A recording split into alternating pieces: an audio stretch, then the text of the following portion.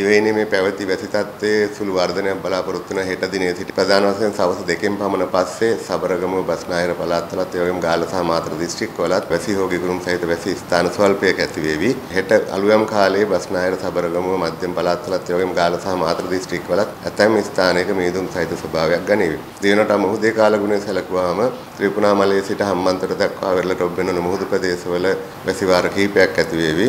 උත්තලම සිට කංකසන්තුරේ දක්වා වන වෙරළට ඔබ්බෙන මුහුදු ප්‍රදේශවලත් ඒ වගේම ත්‍රිකුණාමලයේ සිට හම්බන්තොට දක්වා වෙරළට ඔබ්බෙන මුහුදු ප්‍රදේශවලත් මේ සුළඟේ වේගය විටක පැයට කිලෝමීටර් 40ක් 45ක් දක්වා වැඩි වෙන්න පුළුවන්. ඒ වගේම මේ මුහුදු ප්‍රදේශ රළු වීමේ ඉඩ කඩකුත් තියෙනවා.